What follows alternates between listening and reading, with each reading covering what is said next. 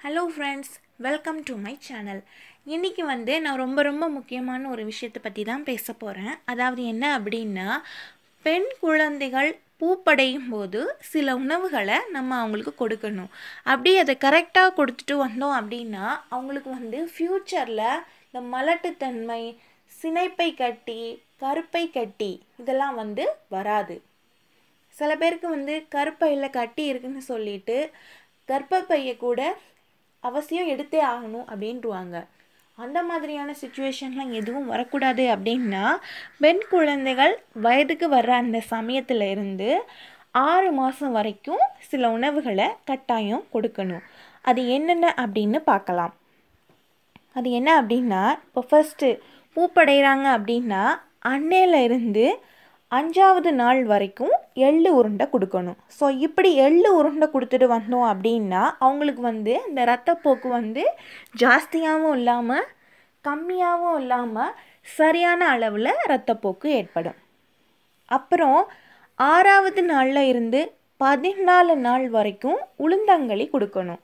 உளுந்தங்களி கொடுத்துட்டு வந்தோம் அப்படின்னா இந்த பீரியட்ஸ் டைமில் ஏற்படுற இடுப்பு வலி உடல் வலி இதெல்லாம் வந்து வராது.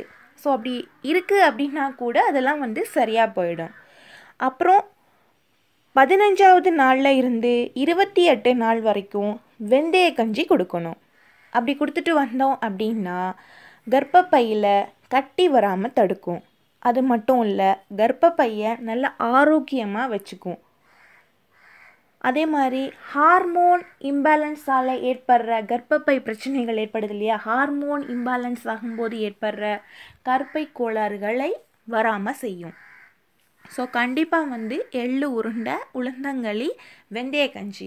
இதை வந்து கரெக்டாக இந்த ஆர்டர்லேயே வந்து அவங்க எப்போ பூப்படைகிறாங்களோ அப்போ இருந்து ஆறு மாதம் வரைக்கும் கரெக்டாக கொடுத்துட்டு வந்தோம் அப்படின்னா கண்டிப்பாக அவங்களுக்கு வந்து அவங்களோட லைஃப்பில் ஃப்யூச்சரில் வந்து இந்த மாதிரியான பிரச்சனைகள் எதுவுமே ஏற்படாது. உங்களோட பாடி ரொம்ப ஹெல்த்தியாக இருக்கும். அவங்களோட கர்ப்பப்பையும் ரொம்ப ஆரோக்கியமாக இருக்கும்.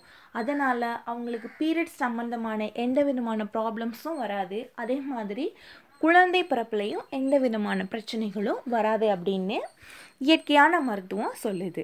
ஸோ இதை வந்து நம்ம முடிஞ்ச வரைக்கும் நம்ம இதை ஃபாலோ பண்ணோம் அப்படின்னா நம்மளோட குழந்தைங்களுக்கு இது ரொம்ப ரொம்ப ரொம்ப நல்லது.